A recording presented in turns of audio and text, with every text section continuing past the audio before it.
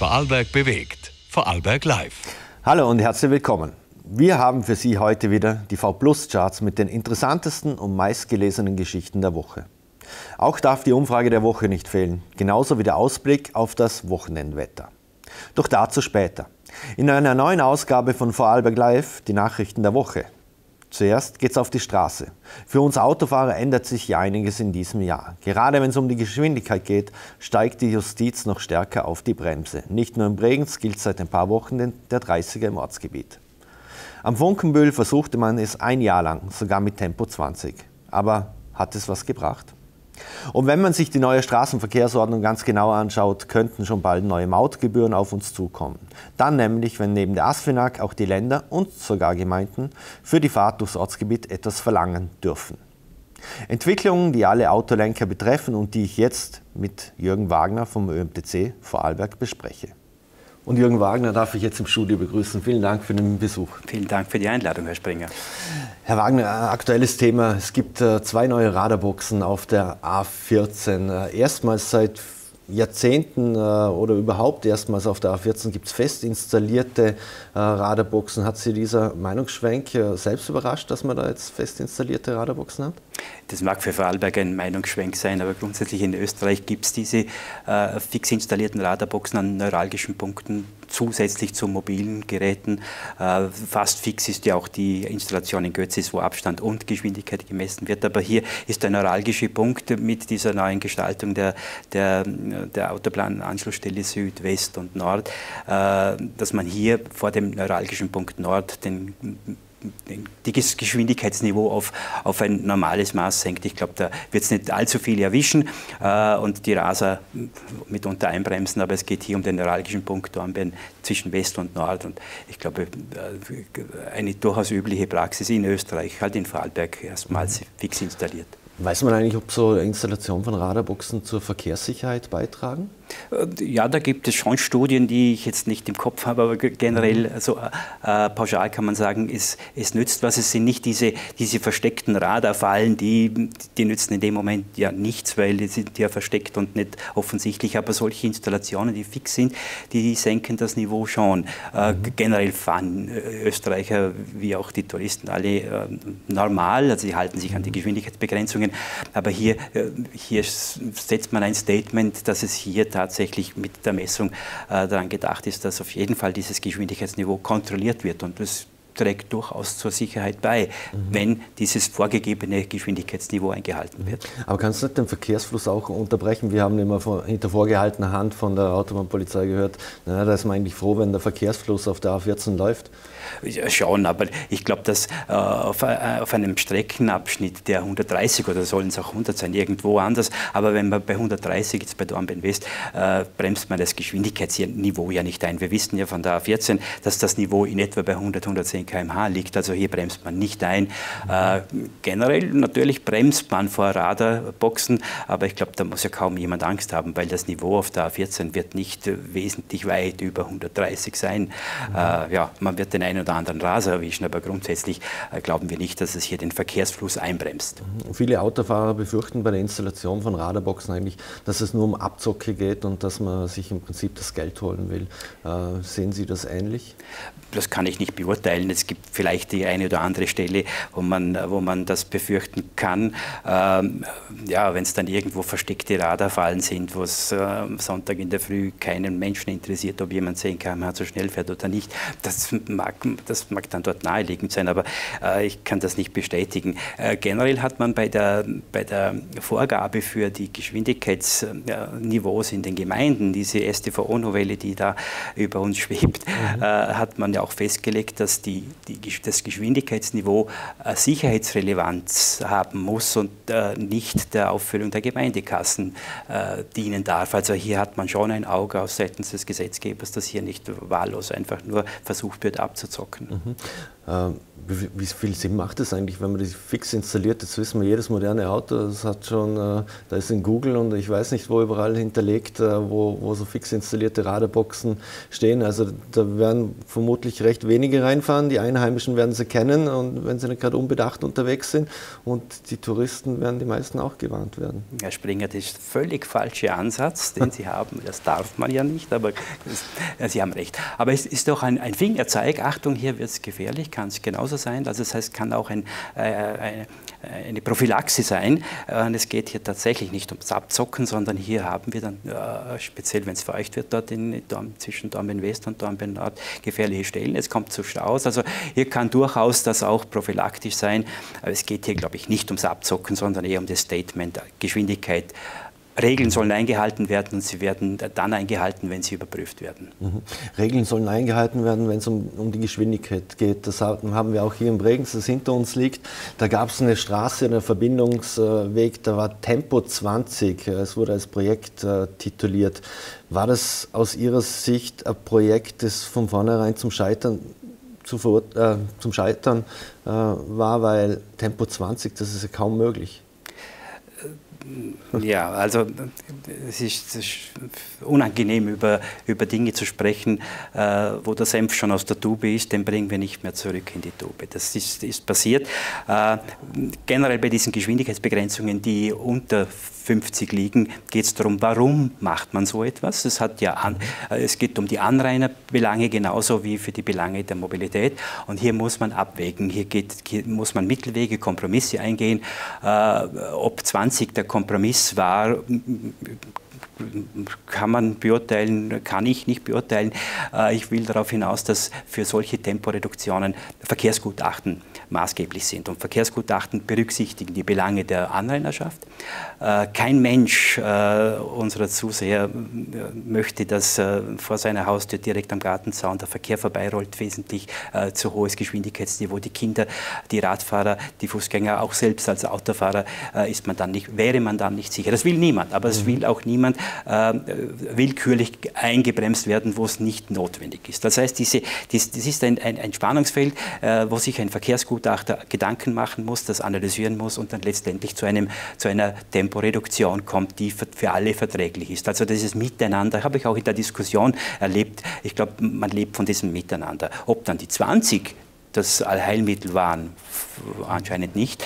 Oder ob es 30 oder 40 ist, das kann ich jetzt nicht beurteilen aus dem Stand heraus. Aber jetzt bei 30 scheinen auch die Anrainer damit leben zu können, weil äh, ob 30 oder 20 ist nicht das große Thema, es ist das große Thema 50 oder 20 oder 50 oder 30, weil da ist dann, wer die Stelle kennt, sehr, sehr knapp. Aber diese Entscheidung ist gefallen, Senf ist aus der Tube.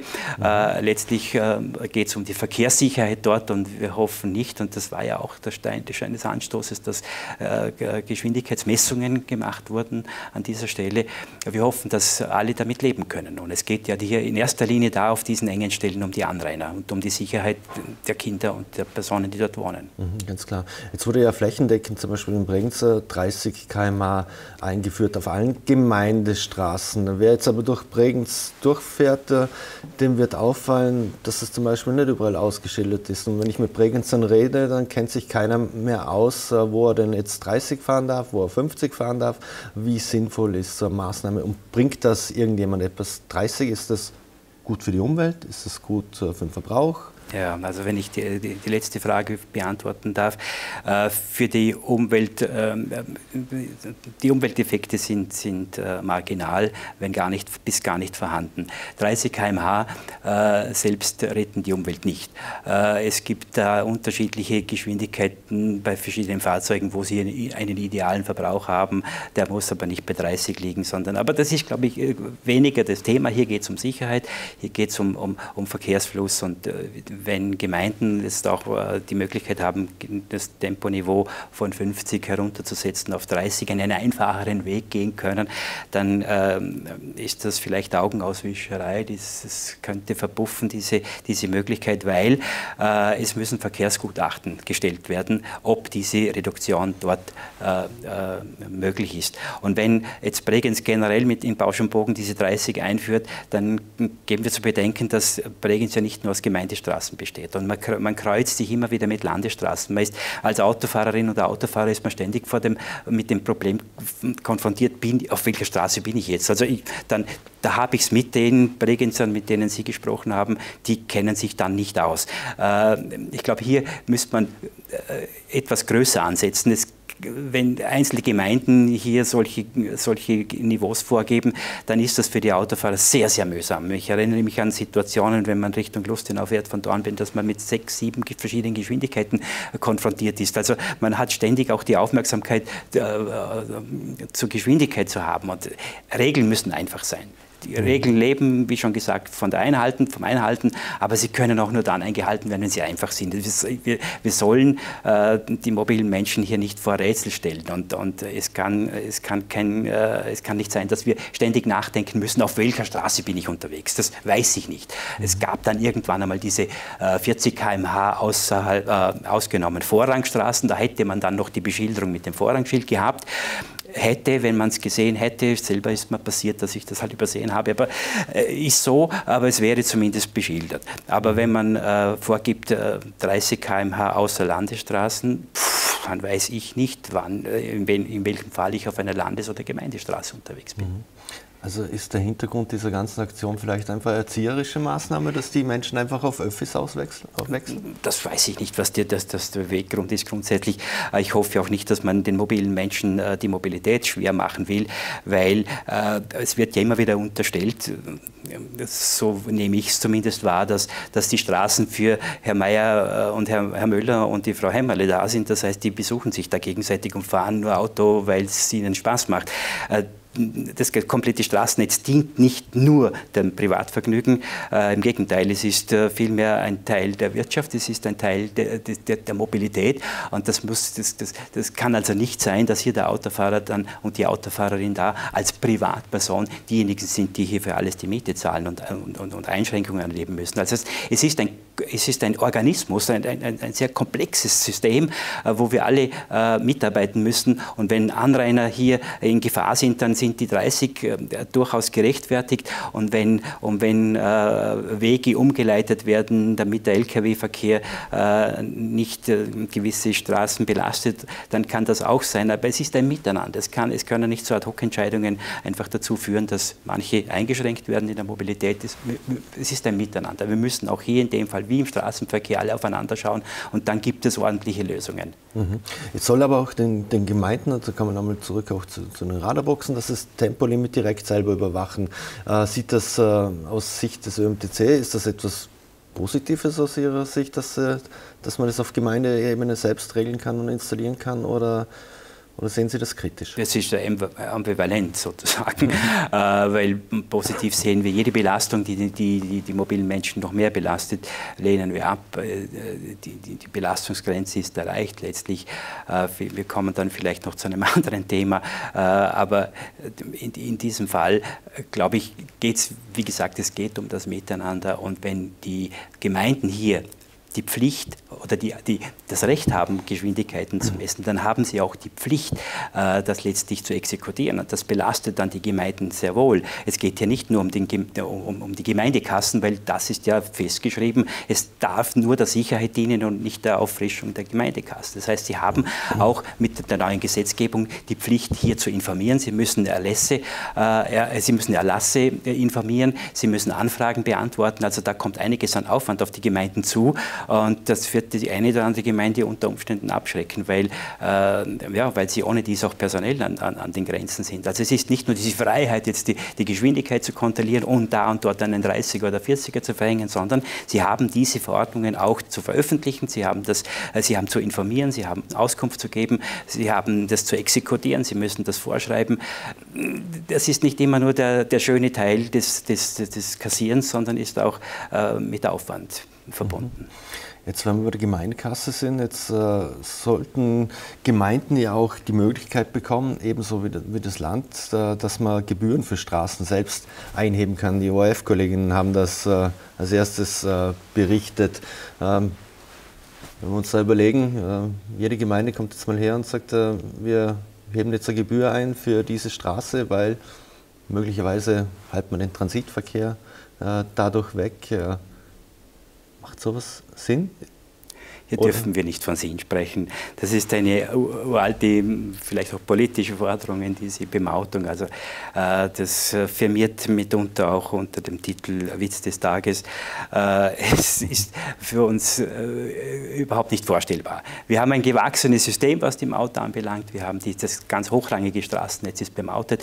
Es gibt Bemautung von Privatstraßen, keine Frage, aber die Gemeinden äh, würden hier einzelne Straßen bemauten. Das würde letztendlich sogar, und äh, ich, ich, sage es ungern, aber es wäre dann so, sogar verfassungsrechtlich äh, ein, ein, Problem, äh, weil wir hier Einschränkungen, die Menschen ungleich behandeln, die Mobilität dahingehend einschränken, dass äh, mitunter und speziell in Gemeinden ja keine Ausweichmöglichkeiten bestehen und es dann, wenn überhaupt dann, wenn es Ausweichmöglichkeiten gibt, es zu Ausweichverkehr kommt kommt. Ich das, äh, ich, das, wir sehen das nicht. Wenn konkrete Beispiele notwendig sind, dann sollen die auf den Tisch, dann kann man dieses konkrete Beispiel äh, oder diesen konkreten Vorschlag prüfen. Äh, es liegt ja nicht an uns, aber dann könnten auch wir zu einem konkreten Beispiel vielleicht eine Meinung haben. Aber generell muss so etwas konkret geprüft werden, einfach im Bausch und Bogen Maut einzuführen, äh, im, im, mitunter noch in ganz Vorarlberg. Nein, auf keinen Fall. Also das, äh, ohne die Auswirkungen in Richtung Tourismus oder Ausrichtung Richtung Wirtschaft zu, zu, nach, über die nachzudenken. ist, äh, wir glauben nicht daran und das, wir können es überhaupt nicht vorstellen. Mhm. Wenn wir beim konkreten Beispiel sind, und jetzt muss ich ein anderes Thema hernehmen, und zwar das Thema Rasen äh, nochmals. Jetzt wissen wir, wir hatten in, äh, Vorarlberg unlängst den ersten Fall, wo ein, wo ein Auto beschlagnahmt wurde im, im Montafon. Äh, wie sehen Sie die Möglichkeiten, die der Gesetzgeber jetzt hier geschaffen hat und auch äh, wie wirksam ist sowas in der Abschreckung aus Ihrer Sicht?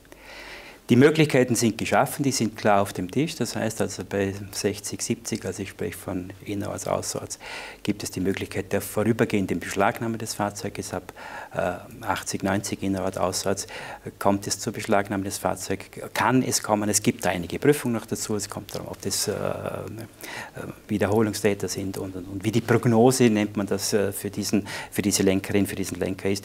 Dann wird entschieden, ob es zum Eigentumsentzug kommt. Und da ist das große. Problem, da sehen wir das große Problem. Die Maßnahme an sich ist abschreckend, aber meiner Meinung nach zu wenig abschreckend. Das Fahrzeug, das Eigentum zu verlieren, ja, ist das eine. Äh, das, das Erwischtwerden beim Rasen ist das andere. Ich möchte aber hier an dieser Stelle noch ganz kurz erwähnen, wir reden jetzt nur von diesen absoluten Rasern, die gemeingefährlich unterwegs sind. Es geht hier in der Diskussion überhaupt nicht um jene, die auch äh, gesetzeswidrig zu schnell fahren. Wenn ich hinter 40er Beschränkung 60 fahre, dann, dann habe ich ordentlich was zu zahlen, keine Frage. Das, das macht aber niemand aus Gemeingefährdung oder dass er das irgendwie vorsätzlich tut wie die, die Autorennen. Also es geht hier tatsächlich nur um diese absoluten Raser, das, die neue Raserverordnung, das neue Rasergesetz. Es geht um die, die tatsächlich äh, lebensgefährlich unterwegs sind. Äh, und in diesem Fall ist der Eigentumsentzug wahrscheinlich zu wenig äh, zu wenig Strafe. Dazu kommt, dass man ja, äh, man kann es so sehen, zweimal bestraft wird. Man hat die Strafe zu zahlen, man hat die Maßnahme äh, Führerscheinentzug und hat dann noch einmal die Strafe Fahrzeugentzug oder eine zweite Maßnahme. Das kann man so oder so sehen. Auf jeden Fall, äh, wenn das Fahrzeug entzogen wird, kann nur Eigentum entzogen werden, nicht der Besitz. Das klingt etwas kompliziert, aber wenn ich ein Fahrzeug lenke, dann bin ich in dem Moment der Besitzer, egal wem das Fahrzeug im Eigentum gehört das ist rechtlich so geregelt mhm. mit allem, was man tut und hat. Äh, das heißt, ein Leasingfahrzeug habe ich im Besitz, aber ist, ich, bin, ich stehe nicht im Eigentum. Ich habe das nicht im Eigentum. Das heißt, dieses Fahrzeug kann man mir gar nicht entziehen.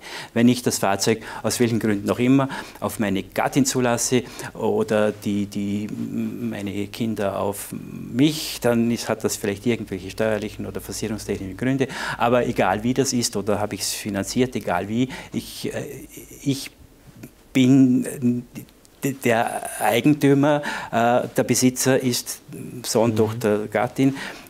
Man kann denen das Fahrzeug nicht entziehen, weil sie man kann nur Eigentum entziehen. Und das ist in Österreich grundsätzlich problematisch, dass Eigentum die Verwaltungsbehörde entzogen wird. Ähm, das war bisher noch nie so, aber gesetzlich wurde es so geregelt. Äh, wir vermuten, dass der ein oder andere Fall vor Gericht landen wird. Mhm. Äh, und der Eigentumsnachweis ist nicht sehr einfach speziell bei Fahrzeugen. Mhm. Und wie gesagt, Fahrzeuge, die nicht im Eigentum stehen, die können die, die, das wird, dort wird es nicht schlagend. Und ich weiß von, von äh, der Exekutive in anderen Bundesländern, dass sie gewisse Fahrzeuge, Leasingfahrzeuge, gar nicht angreifen. Da kommt es zur, zur Bestrafung. Wenn man diese gemeingefährlichen Menschen, die hier Autorennen fahren auf, auf unseren Straßen, wo sie absolut nicht hingehören, denen muss, ein, denen muss eine andere Strafe drohen. Es geht mhm. mir nicht noch einmal, nicht um die zu Schnellfahrer, die, da trifft es uns alle irgendwann einmal, dass wir einfach äh, unbeachtet zu schnell fahren.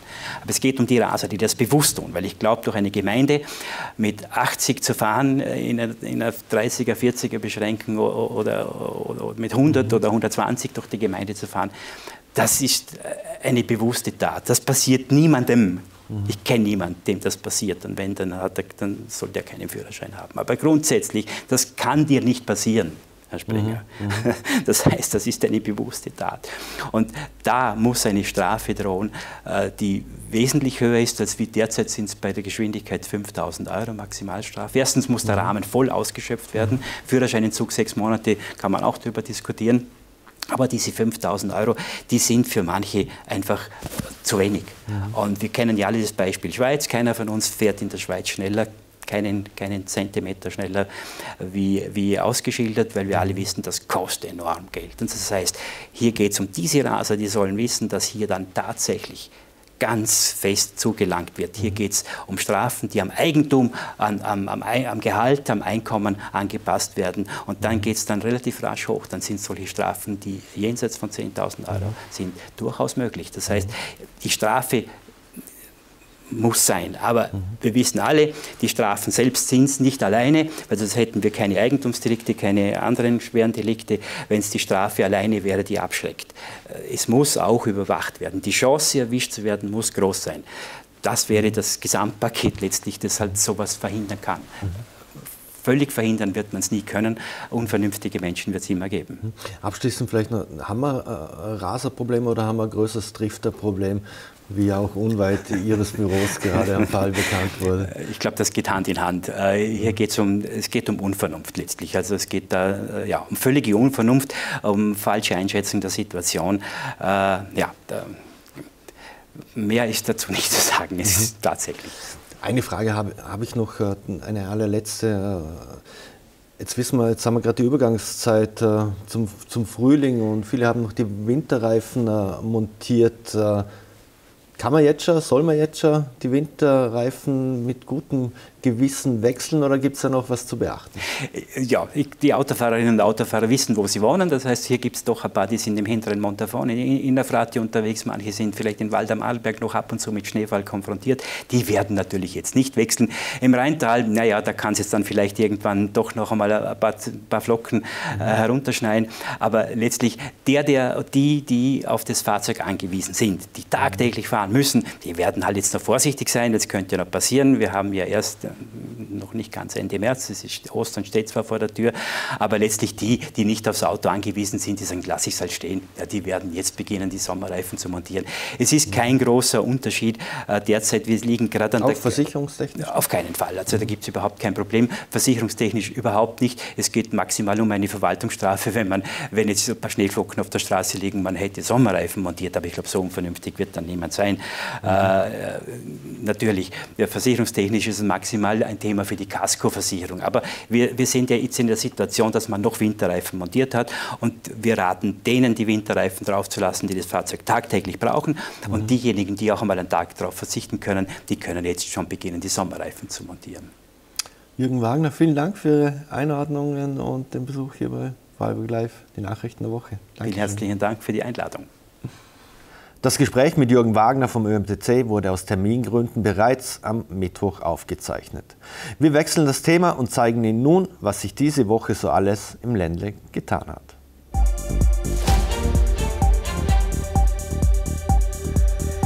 Drei Jahren überlebte Manuel Wucher aus Möckers einen schweren Forstunfall, bei dem er sein linkes Bein verlor.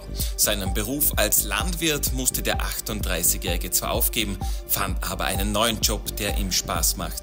Im Gespräch mit den VN meint Wucher, dass er sich heute, trotz des Verlusts, kaum eingeschränkt fühlt. Sein zweites Leben betrachtet er als Chance.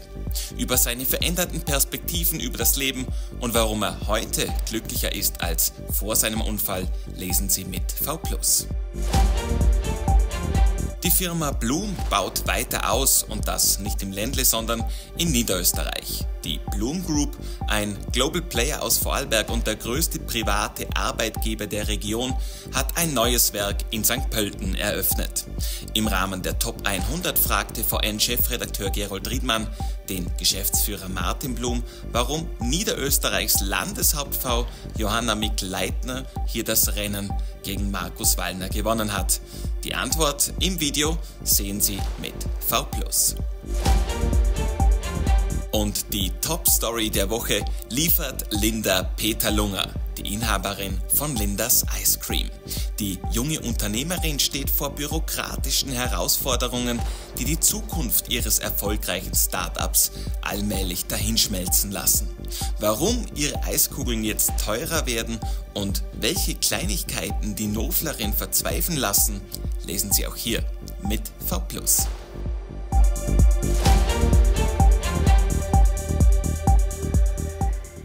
Im Bluden sorgt am vergangenen Wochenende ein Video für Entsetzen. Es zeigt einen Jugendlichen, der wiederholt auf einen älteren Mann einschlägt.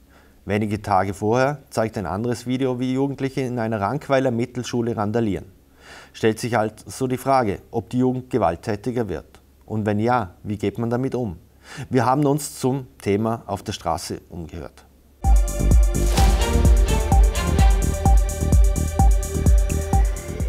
Werden Jugendliche immer gewaltbereiter?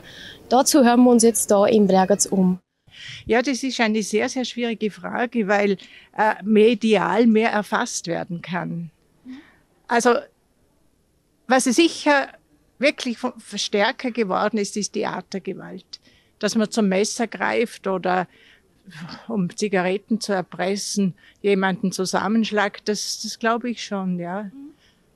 Aber die Frage als solche ist schwierig, gerade von, wenn man von Statistiken ausgeht. Der allgemeine Tenor ist sicher gerade ein bisschen in eine andere Richtung, aber mehr Komfortbereitschaft ist nicht wirklich höher. Was vielleicht ein bisschen erschreckend ist, dass, dass äh, in den Schulen und so weiter äh, das Mobbing und so weiter zunimmt und ich finde, das ist ein Thema, wo man sich sicher irgendwo um die Jungen ein bisschen kümmern muss. Mhm und hellhörig sein muss, um das Ganze einfach ja, frühzeitig zu erkennen und eventuell etwas dagegen zu tun. Leider ja. Also ich habe zwei Söhne noch mit 25 und 20 und ich muss sagen, zum Glück sind sie nicht so. Aber äh, ich denke, Corona hat viel verschärft. Sehr viel. Auch die, äh, die Konfliktbereitschaften, alles. Leider. Also ich finde schon. Und mehr, also, dass sie auch weniger Respekt haben vor Erwachsenen. Also, das finde ich schon. Woran merken Sie das jetzt zum Beispiel selbst? Ja, ich bin selber schon mal von Jugendlichen blöd angeredet worden. Und muss ich sagen, also das war schon, also da habe ich mir schon gedacht, also wow, also das wäre früher nicht gewesen. Teilweise schon, ja.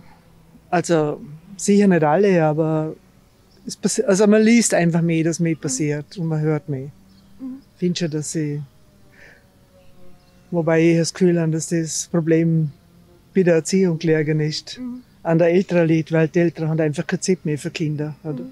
oder viele, nicht alle, aber wenn man Kinder mit drei schon in der, in der Krippe abgibt, dann muss man sich nicht wundern, mhm. dass es denen halt nicht so gut geht nachher, oder? Mhm dass die nicht so.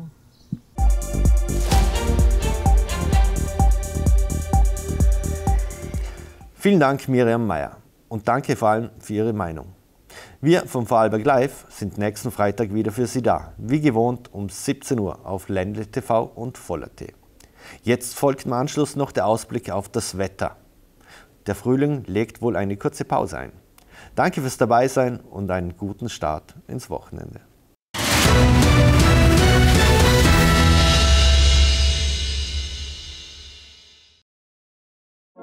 Guten Tag und willkommen beim Wetter.